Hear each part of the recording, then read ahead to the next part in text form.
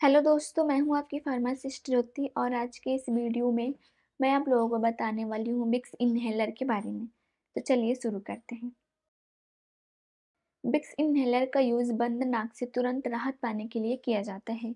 इसमें menthol, Kapoor, methyl salicylate, Siberian fir needle oil और आदि चीज़ें पाई जाती हैं। और अब बात करते हैं कि इसको सूंघने से क्या होता है। तो इसके एयर फ्लो में बैरियर होता है जो सांस फूलना सुबह और रात में अधिक खांसी, छाती में जकड़न, गले में सीटी बजने जैसी आवाज़, इन सबको ये ठीक करने में हेल्प करता है।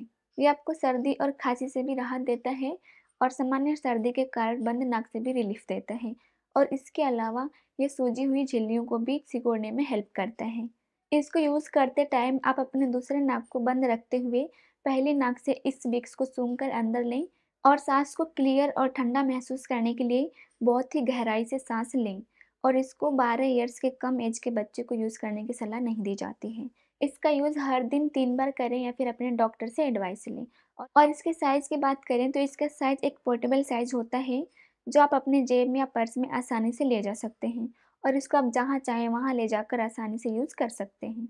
तो अगर आप लोगों को ये इन्फॉर्मेशन अच्छी लगी हो तो वीडियो को लाइक करें और अगर आपने अभी तक हमारे चैनल को सब्सक्राइब नहीं किया है तो चैनल को सब्सक्राइब करके नोटिफिकेशन बेल को टर्न ऑन ऑल नोटिफिकेशन पर सेट करें। Thank you